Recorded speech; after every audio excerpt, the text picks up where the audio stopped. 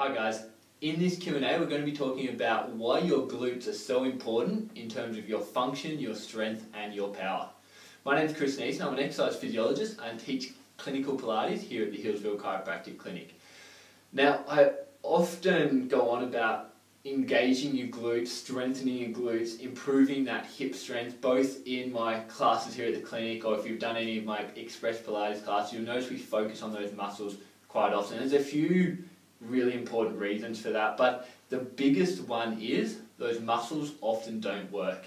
When we spend a lot of our time sitting down, those muscles, your bum muscles, your glutes, they don't fire the way they should. If you combine that with any low back pain or any hip injuries or pain, we're going to find that we just don't have much glute strength at all. The muscles are there, they're physically there, they just don't switch on very well. And that comes to comes back to our brain and nervous system and how they all connect to the muscles and how they communicate. And in most people that I see in the clinic, they're just not working. Now, that being said, when they're not working, we end up being really weak and unstable around our pelvis. And this goes for doing running and sprinting and jumping and those activities, but also activities as simple as getting up and down out of the chair. If you're weak through your glutes, you'll find that really difficult.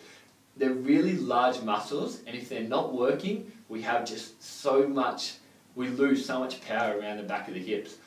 And probably the, the third reason now why those getting the glutes firing is so important is that they improve hip pain, knee pain, ankle pain, all those issues up and down, all the way up to your lower back.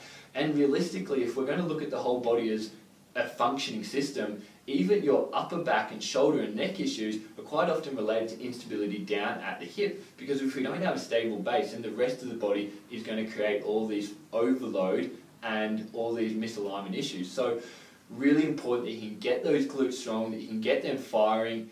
Take a look at our Express Pilates classes. We've got a couple of videos on there. You can find all of them at betterexercise.com.au under the resources section. There's a couple that focus primarily on glute strength and getting them activating and switching on. So go through them. If you do have any low back, hip, knee issues, come into the clinic and we can write you up a program that will help address those weaknesses.